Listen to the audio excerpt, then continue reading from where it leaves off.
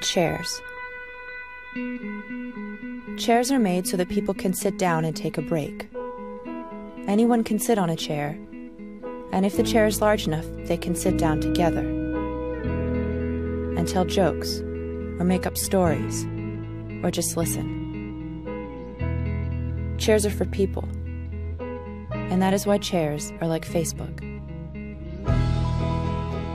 Doorbells, airplanes, bridges.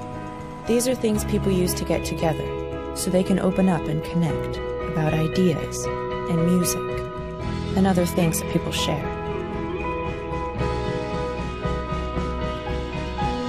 Dance floors, basketball, a great nation. A great nation is something people build so they can have a place where they belong. The universe. It is vast and dark and makes us wonder we are alone.